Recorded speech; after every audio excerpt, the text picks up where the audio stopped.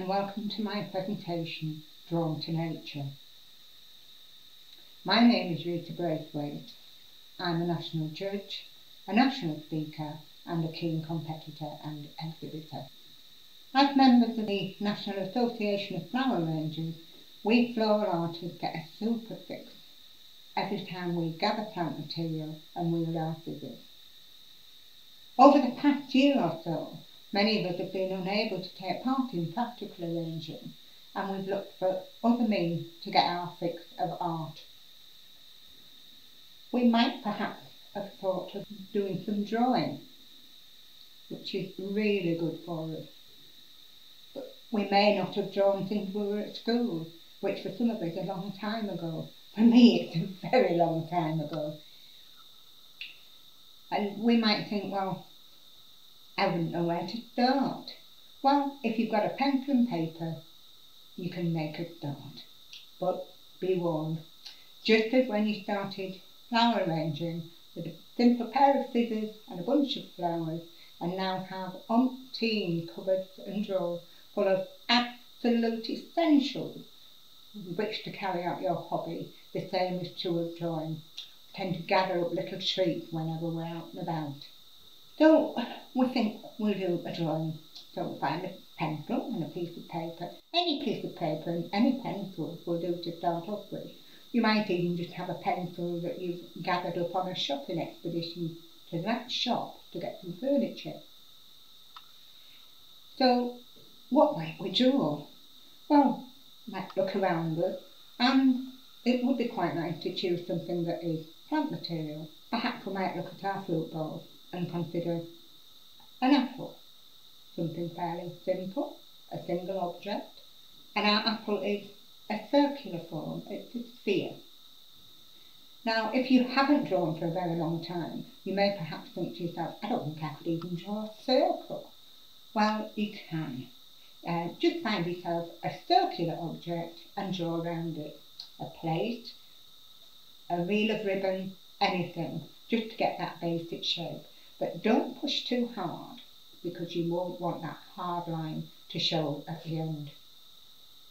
Now, if you're like me, as soon as you start, you'll find that you also need an eraser and a pencil sharpener too. It's, uh, you can use a knife, but it can be a little bit dangerous. So we've got our pencil, we've got our paper, we've sharpened our pencil, and we've got an eraser handy. So we look at our apple and we think, the light catches to one side and the shade is at the other. And I want to give the sense of it being a 3D object on my 2D sheet of paper. So I would draw my circle, start a, a place for the stalk to come from so that we know it's an apple, not just any sphere, a ball or similar. And we would start to draw shading using curved lines to represent the curve of our apple. And we would build up the shading, more shading to the dark side and less where the light falls and shines on the apple. It's a good idea also to put a little bit of shading beneath the apple, um, both to give sense of it being in the shade beneath and to make it look as though it's actually sitting on something and not floating off into the wide blue yonder. Once we've done our apple perhaps a time or two with just an ordinary pencil, we might perhaps think, well, it might be nice to have some coloured pencils. Uh, we might perhaps already have some in our house, or we may have grandchildren that have coloured pencils handy. So once again, we'll consider that our object has shading darker to the shady side and more emphasis where there is colour and less where there isn't colour. So we once again build up that definite sense of it being a spherical object.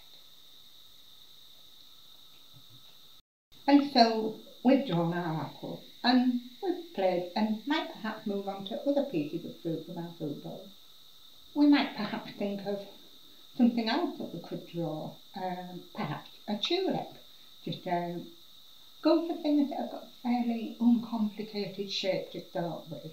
Um, a tulip or a daffodil, something that's got a definite shape so that you've got that sense of it actually being something recognisable.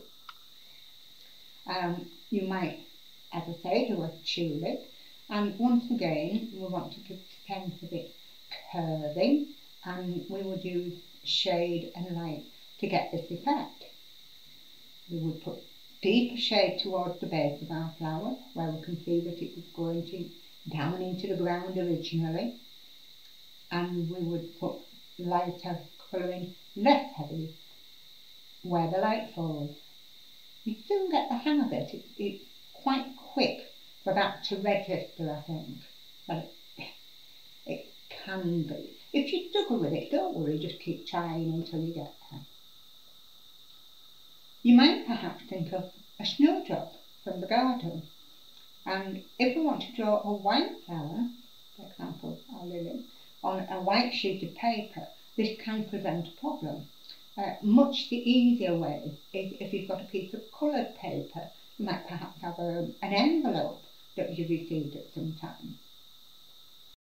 And I took the photograph of my snowdrop against a blue background so that I could see it clearly and I've drawn it with pastel pencil.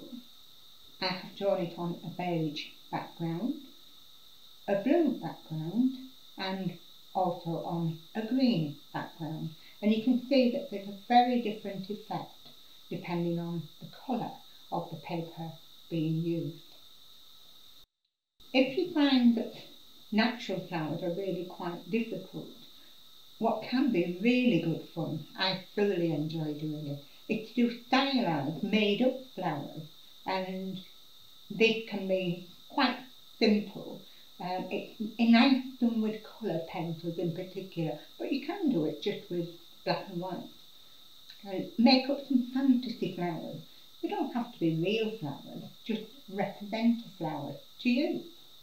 One of my favourite pieces of equipment that I've acquired on my travel through my journey of trying to improve and learn to draw is a light box. A light box is a flat sheet with LED light bulbs in it, so it stays cool. It's quite safe to use.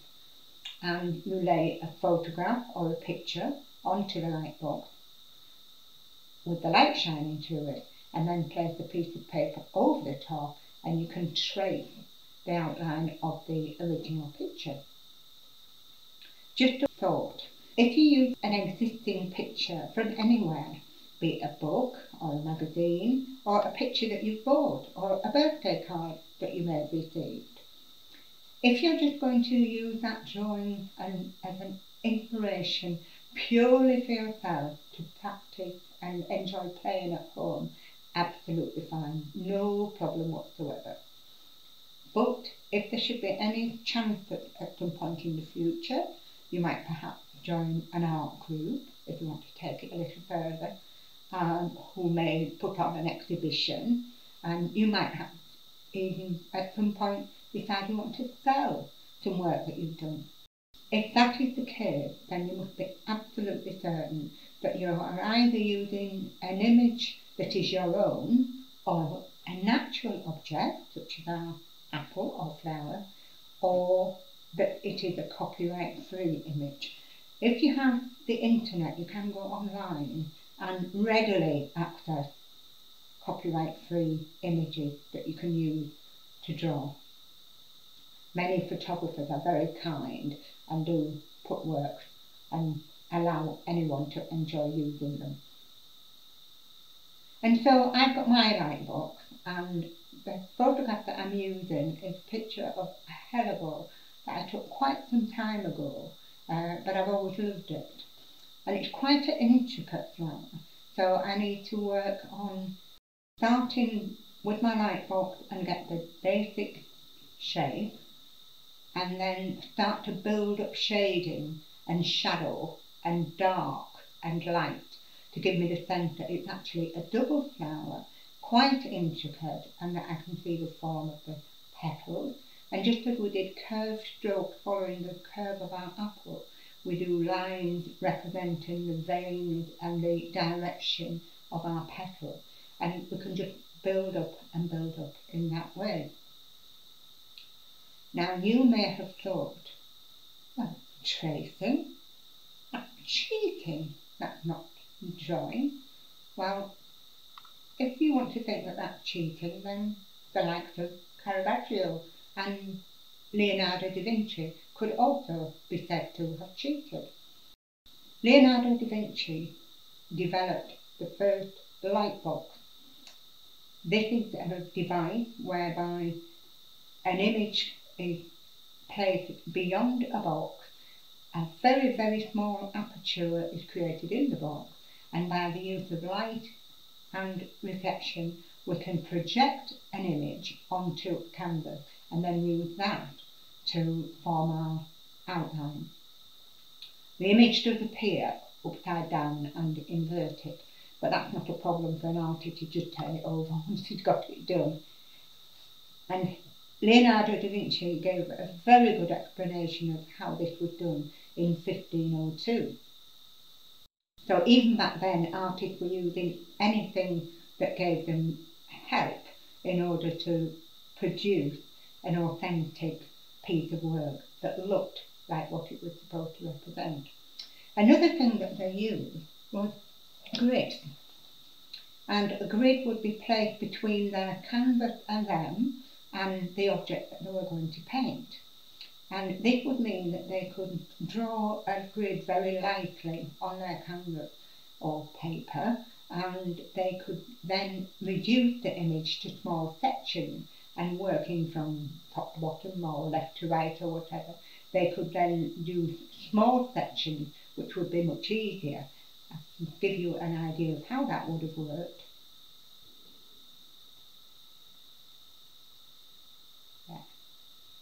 So we can see we've got small sections there and we can use that to create our art.